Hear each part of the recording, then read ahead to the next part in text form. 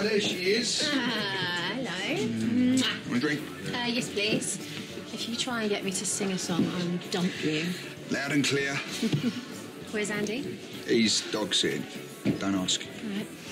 Listen, Rob, I'm sorry if I pushed it a bit too hard. I'm sorry if I was a bit moody. A bit. Oh,